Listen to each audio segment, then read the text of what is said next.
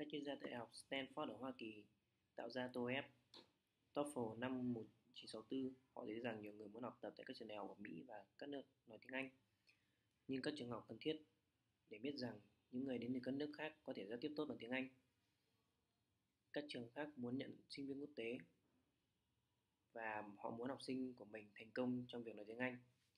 Vì vậy, họ cần phải kiểm tra họ phải kiểm tra kỹ năng ngôn ngữ tiếng Anh của họ trước khi nhận họ vào học. Hầu hết những người thi TOEFL là sinh viên nhưng một số người tham gia kỳ thi TOEFL hoặc IELTS vì các lý do khác. Madison là một sinh viên từ Romania. Cô đã dành 6 tháng nghiên cứu cho TOEFL.